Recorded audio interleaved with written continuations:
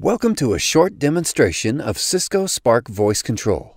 The Spark Voice Control solution allows you to establish two-way communication with Cisco Spark by simply calling a phone number and listening to unread messages in various Cisco Spark conversations, as well as using your voice to reply when necessary.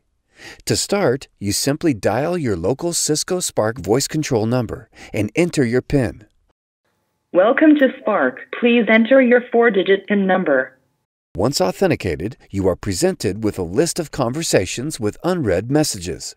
Choosing any conversation, you hear the unread messages in it in chronological order. Now checking for new messages. You have two rooms with new messages. To read messages from Team Chat, press or say 1. To read messages from John Doe, press or say 2. 2. Fetching messages from John Doe. Message from John Doe. Messages. Are you there? Can I call you right now? You have an option to reply by recording a message, which will then be transcribed and sent to Spark. To reply, press 1 or say yes. Yes. Leave your message at the beep. When ready, press pound. I'll call you back. Message recorded successfully.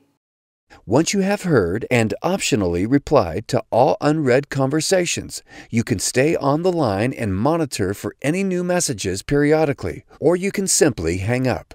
Using Cisco Spark Voice Control allows you to stay engaged with your conversations in situations where using other applications is inconvenient or inappropriate. For example, while driving or jogging. For more information, please visit our website.